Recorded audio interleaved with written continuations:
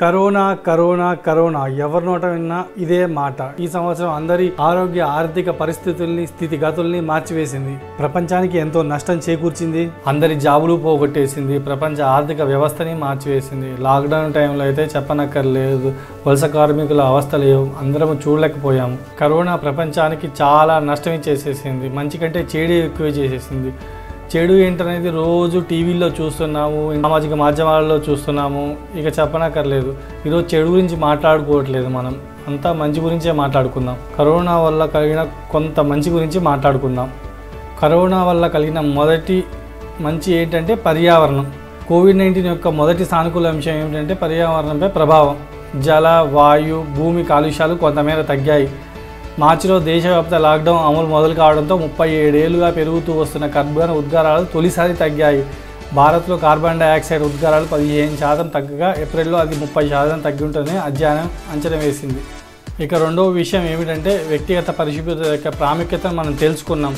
చేతుల్ని సబ్బు నీరు ఉపయోగించి తరచు కడుక్కోవడం లేదా శానిటైజ్ చేసుకోవడం. మూడో విషయం కుటుంబం. ఈ సంవత్సరం మన కుటుంబ సభ్యులతో తగినంత సమయం గడిపాం. ప్రతి ఒక్కరం వీలైనంత తొందరగా ఇంటికి వెళ్ళి కుటుంబంతో గడపడానికే ఎక్కువ ఇష్టపడుతున్నారు. నాలుగో విషయం విద్యా విధానం.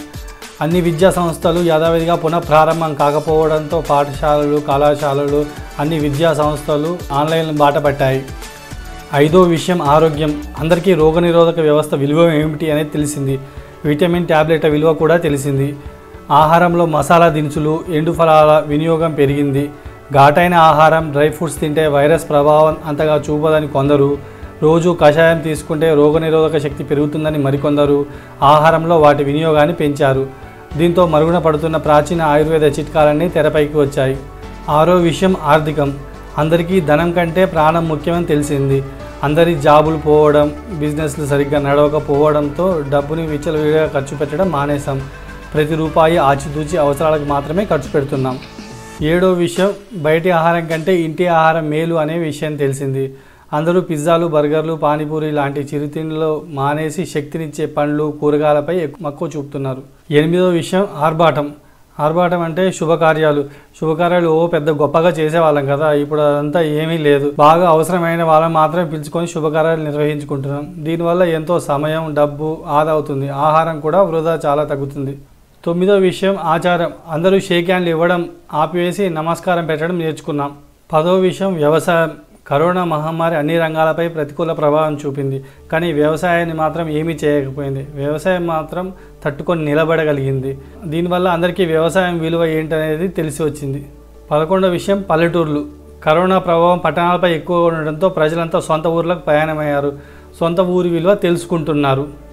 పల్లెటూరి స్వచ్ఛమైన గాలిని ఆస్వాదిస్తున్నారు. ఇదండి కరోనా వల్ల కలిగిన నాకు తెలిసిన మంచి. కరోనా పాజిటివ్ వచ్చిందని భయపడకండి. మనం కూడా పాజిటివ్గానే ఉందాం.